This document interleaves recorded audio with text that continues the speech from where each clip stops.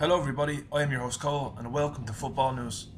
Manchester City moved up to third in the Premier League with a routine win over Stoke ahead of Tuesday's Champions League semi-final with Real Madrid. Fernando headed the house in front from a corner before Aguero scored a penalty. Awarded for Ryan Shawcross fell on Kelechi, doubled the lead. Iheanacho added the third from close range, then the teenager rounded the keeper to seal an epic win. Stoke conceded 4 goals for their third straight Premier League game. Manuel Pellegrini rested a number of players including captain Vincent Kompany, midfielder Kevin De Bruyne, with the first leg visit of 10-time champions of Europe Real Madrid in mind. Yet his side go into one of the biggest games in the club's history with confidence high after moving above Arsenal, who play Sunderland on Sunday, with the game finishing 4-0 to Manchester City.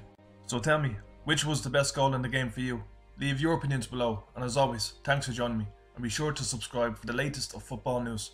Take care.